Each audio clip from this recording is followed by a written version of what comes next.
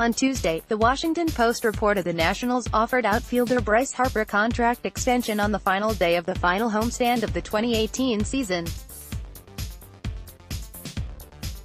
Harper declined and opted for free agency.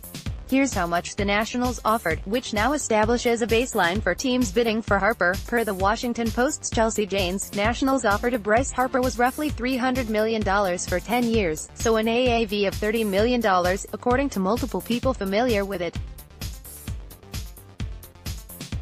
No opt-outs. Also keep in mind, this is $100 million or more below where Scott Boras will likely set his initial asking price. Harper is one of the youngest and most decorated free agents he'll ever represent. He was always going to shoot high. Important on Harper, both sides considered this a respectful offer. It wasn't insulting. It was unprecedented. That the Nationals made an offer establishes their interest in keeping Harper but does not necessarily clarify the extent of that desire. They could, if they wish, make an offer they know another team will beat, a move that would make them appear interested but not require actual commitment. Dot dot dot. For years, those within the industry have speculated what it would take to lock down Harper, with no grand consensus other than he will likely command more than the 13-year, $325 million contract Giancarlo Stanton agreed to with the Miami Marlins in 2014. Harper has indicated that he would like that kind of long-term deal. The Athletic's Ken Rosenthal analyzes the Nationals' contract offer, some thoughts on. Not known if it had deferrals to lower present-day value.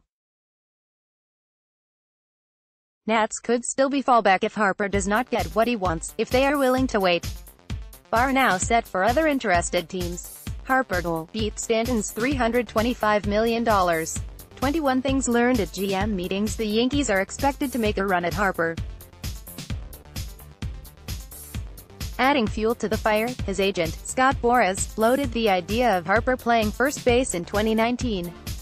General manager Brian Cashman was asked Tuesday about the concept of Harper playing first base, per NJ Advance Media's Brendan Kuty, on Harper playing first base.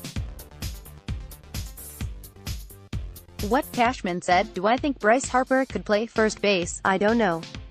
I don't know. Obviously he's extremely talented and athletic. What he really said, earlier in the day, Harper's agent, Scott Boras, said that Harper could pick up first base.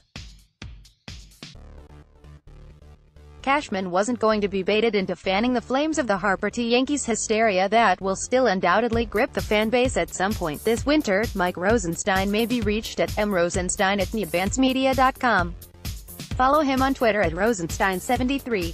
Find NJ.com on Facebook.